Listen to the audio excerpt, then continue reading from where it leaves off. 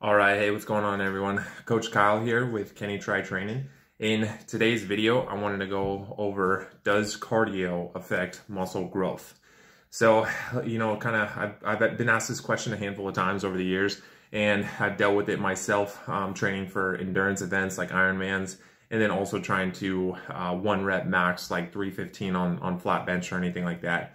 So I've been asked that question, uh, you know, numerous times, and I wanted to go over kind of my thoughts, my opinions on whether or not uh, cardiovascular is going to diminish or inhibit any sort of protein synthesis or muscular hypertrophy that we work so hard in the gym to try to grow our muscles and you know make those those gains and that significant progress and stuff like that.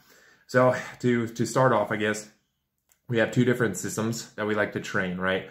So we have our cardiovascular system that we like to train, like our lungs and our heart. And then we have our musculoskeletal system that we like to train by doing like, like chest press or lat pull down or something like that. So the idea when we do chest press or lat pull down is to contract those muscles um, and then target blood flow through the contraction, make slight tears, and then have the muscles grow back a little bit stronger, and then have that you know snowball effect in order to get those target muscles uh, stronger and bigger, right? Essentially. And then we have our cardiovascular system, which we like to train through, you know, trying to run a 5K or trying to run a half marathon or whatever, where we're looking more so at our, our heart rate. Um, if we're a little bit more advanced in running, uh, we're looking at things like our cadence or our VO2 max. And we want to kind of gauge whether or not doing those forms of cardio is going to affect, you know, doing that chest press or that lat pull down. So there's been controversy that I've read uh, and studied on over the years, uh, whether or not it is true that cardio kills your gains or your progress or stuff like that? The short answer is going to be no, right? So cardio does not inhibit any sort of muscle growth. So based on the studies that I've read uh, and researched and looked at and have dealt with myself, cardiovascular training is not going to interfere or inhibit any sort of muscle growth, right? So there's been uh, some of these studies to give you some examples we look at like a, uh, molecular pathways through muscular hypertrophy and whether or not uh, there's diminished there's diminished returns uh, from resistance training uh, or trying to you know develop that muscular hypertrophy. So uh, again, there has not been any significant studies that I've come, come across that have found that cardiovascular training um, is going to affect muscular anatomy and you know again diminish that that growth there. So now where where's the line i guess? So where do we find um, at which at what point does cardio start to uh, affect any sort of muscle gains?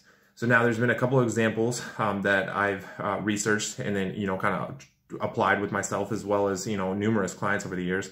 Now when we do forms of cardio and our heart rate is prolonged above zone 3 zone 4 for an extended period of time and we're talking up to like 90 minutes at which point our body is going to begin to uh, you know break down and then use some of that protein use some of that muscle um, as our primary source of energy right? So once we get into those protein and those muscle fuel sources then we're going to start to diminish them slightly. It's not going to be significant by any means majority of individuals are uh, just trying to be healthy be fit some some of you guys are trying to do you know bodybuilding shows some of you guys are trying to do your first marathon or whatever it is, uh, you know, this information can be vital in order to progress, especially breakthrough plateaus.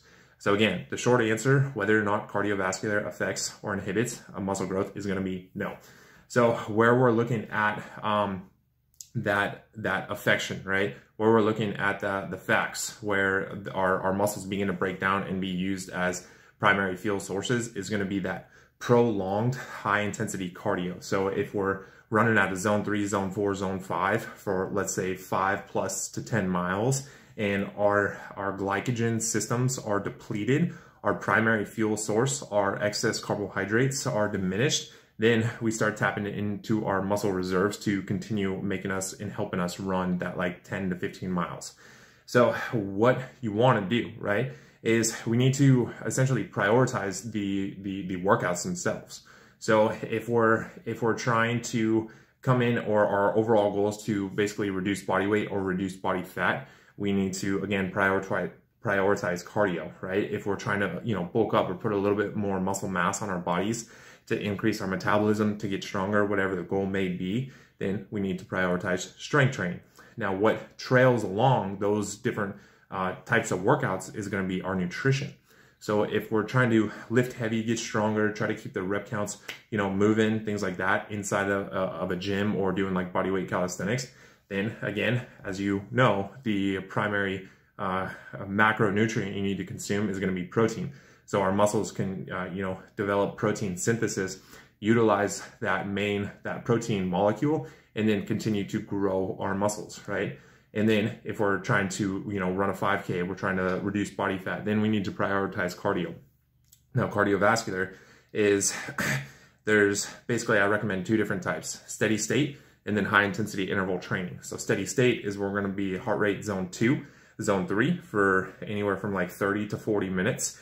And then high intensity cardio, we're gonna look more like up and then down and then up and then down on a heart rate monitor where we're basically trying to go from zone two to zone four for like a two minute window and then like a two minute window or whatever the, the interval ratio of the day is going to be. High intensity cardio is scientifically proven to be the most beneficial form of fat loss, right? Generally, with high intensity cardio, we don't want to hit zone four, zone five for an extended duration of time. Um, just, uh, and we generally don't want to do more than like three to four high intensity sessions per week when our heart starts to hit zone four, zone five, we uh, basically are generating lactic acid and metabolic waste in inside of our bodies. Um, and then we, are like I mentioned prior, is we're breaking down the muscles pretty rapidly. So beneficial, but up to a certain point. So if we're trying to, uh, you know, progress and break through those plateaus on a cardiovascular side, we need to make sure we structure our, our cardio workout properly. now, so the biggest thing is prioritizing and then targeting the workouts and also having your specific goals that you want to accomplish. the problem where I see issues with individuals and you know uh, clients that I currently have is when I have uh, a, a, relatively thin male who's you know in his early 30s and he's just he's he's skinny right and his goal is to try to put on muscle mass. My issue is when I see him trying to uh, you know test out his 5K time and his goal is to put on muscle mass. So that's not taking some of this information and then you know applying it properly he's going to remain skinny the the muscular hypertrophy and protein synthesis is not going to be uh, as uh, progressive trying or doing as much cardio as they are doing um, and then also trying to you know strength train um, and then also too i see this issue a lot with uh, a lot of other different trainers is when we have a relatively heavy set individual or someone who's a little bit overweight right and all they're doing is taking them through, uh, you know, simple reps on machines in the gym and not utilizing cardio to the advantage. Personally, I like to sway more on the cardiovascular side. I love I love to sweat when I work out, or my clients love to train hard, or I like to train my clients hard and difficult. I like to monitor their heart rate. So back to this example, let's say you're a new client, or you're a little bit heavy set, and you're trying to you're trying to lose body fat, right? Um, or you're a fit individual trying to lose body fat you have to utilize cardio uh, properly, right? So you have to take advantage of the high intensity interval sessions, uh, and then we have to, uh, you know, also try to increase our our aerobic capacity, so being able to run five miles at a lower heart rate. Uh, and then, yeah, so those are kind of the two main things: is uh, making sure we're targeting the workouts properly. When we're looking at a cardiovascular, um, you know, uh, specific workout, we need to really utilize carbohydrates as our primary fuel source, right? So again, carbohydrates are going to be stored in our liver. Um, excess carbohydrates are going to get stored as glycogen, and those are our primary fuel sources when we train. Once we burn through those glycogen stores, um, that storage, uh, we start to break down uh, that protein development, and you know we start to utilize some of our muscles as energy majority of individuals do not get to that point um, of like a, a, muscle breakdown for energy within a, a, given workout. At that point, we're talking a little bit more kind of uh, long endurance, long-term endurance athletes uh, are, you know, that's why you look at like a professional marathon runner. They're very thin individuals, right? So again, most individuals need to basically uh, a healthy balance, right? So making sure we're uh, mixing up um, proper uh, strength training sessions and then also making sure we're not neglecting cardio. So again, majority of individuals, if we need to reduce that body fat, tack on 20 to 30 minutes of steady state or HIIT cardio post resistance training, right? Um, prioritize workouts. Make sure you're fueling the, the workouts appropriately um, and then, you know, uh, progressing and breaking through plateaus. Utilize data, um, things like tracking your reps, tracking the weights, um, and then especially with a lot of my clients, we'll track heart rate thoroughly. What is your resting heart rate? if I told you to get on a treadmill right now and run five miles, what would your average heart rate be? The goal would be one month from now to have your average heart rate be a little bit lower than where it's currently at because your heart, again, is a muscle and it acts as a pump. So again, um, I just wanted to take you through it, all right? And then make sure you space out your workouts, all right? So instead of doing, uh, you know, just cardio, cardio, cardio, cardio, work kind of a cardio day and then work more of a strength training day. Where we uh, start to get the, the biggest effect from cardiovascular exercise and muscle growth is going to be if we're doing fasted cardio.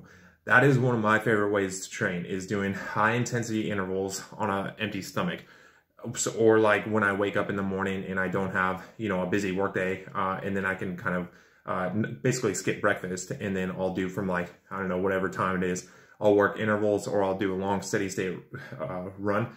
So that is where, um, steady state aerobic exercise uh, where the there's low availability of glycogen in our bodies because we're in that fasted state uh, and then our bodies essentially start to break down protein um, from our muscles into amino acids and then it's converted into glucose which is going to provide the energy so my energy requirement in a fasted state is going to play a bigger uh, diminishment on my muscles uh, in order to continue progressing um, or making me go within whatever workout I'm doing. So that's the biggest form. So I will use this knowledge to my advantage in order to try to continue and reduce my body fat. So fasted cardio can be extremely beneficial, but it needs to be done appropriately. Um, and I won't, it's not like something I do every single day. I'll only do it if the goal is to uh, continue to drop my body fat for whatever reason, right?